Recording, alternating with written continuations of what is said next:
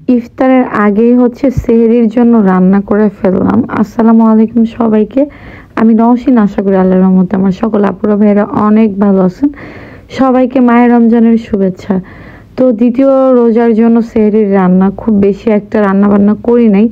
কই মাছ ছিল আর পালং শাক দিয়ে, আলু দিয়ে রান্না করে ফেললাম। আর এদিক দিয়ে হচ্ছে ছানা ছিল। তো কীভাবে রান্না করলাম? ইফতারের আগ টাইমে রান্না করে ফেলছি। মাছ দিয়ে, শাক দিয়ে মানে ঝটপট রান্না। রোজা থেকে আসলে কি রান্না বান্না কাজ করতে কেন করতে ইচ্ছা করে না? তারপরে মনে হলো যে রান্না তো করতে হবে, তা নাহলে সেরিতে কি খাব? তো ইফতারের আগে ঝটপট করেই রান্না করতেছিলাম। আর পালং শাকটা আমার খুব ফেভারেট শাক রান্না করতে দেরি হয় না।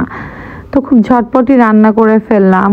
আর এই তো হয়ে গেছে আমার পালং শাক দিয়ে, আলু দিয়ে, টমেটো দিয়ে। কই মাছ দিয়ে একটু ঝোল টাইপের করছি। কারণ শুকনা খাবার খেতে কেমন জানে লাগে।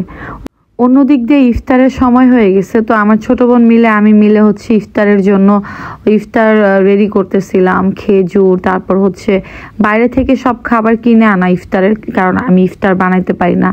আলুর চপ, বেগুনের চপ, তারপর বিভিন্ন রকমের চপ, এগুলো আসলে আমি বানাইতে পারি না। বানাইতে গেলে নষ্ট হয়ে যায়। তো ইফতারের জন্য সব কিছু বাইরে থেকে কিনে নেওয়া। অন্যদিক দিয়ে হচ্ছে হালিম নিয়ে আসছিলাম। হালিমটা আমার ভালো লাগে।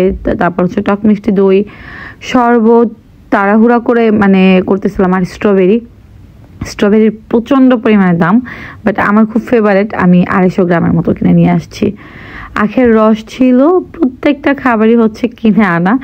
কারণ অনেকে বলতে পারেন যে নসিনাপু তুমি কি বানাইছো? তো ইফতার শেষ করে ফেললাম।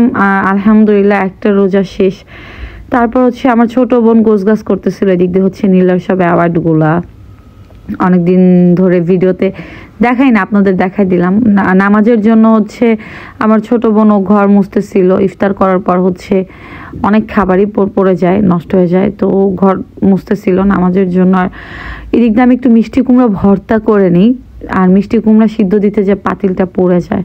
তো মিষ্টি কুমড়া ভর্তা কেউ খান কিনা আমার জানা নাই আমি আসলে মিষ্টি কুমড়াটা ভর্তা করলাম। সিদ্ধ করে নিছিলাম কয়েক টুকরা সিদ্ধ করে, এটা কাঁচামরিচ, পেঁয়াজ দিয়ে, সরিষার তেল দিয়ে একটু ঝাল ঝাল করে ভর্তা করে নিচ্ছিলাম। ভর্তা করার পরে হচ্ছে এটা সেহরির জন্য, কারণ ইফতারের পর না আর ভাত খেতে ইচ্ছা করে না। দেন ভর্তা করে নিলাম রান্নাঘরে রোজার ইফতার শেষ করে দুই বোন মিলে রান্নাঘরের কাজ বাজ শেষ করলাম। দেন আজকের ভিডিওটা ছিল এই পর্যন্ত। ভিডিওটি ভালো লাগলে অবশ্যই লাইক কমেন্ট শেয়ার করে দিবেন আর আমার পেজটি অবশ্যই ফলো করে দিবেন। যে যেখানে দেখেন সবাই ভালো থাকবেন। আল্লাহ হাফেজ সবাইকে।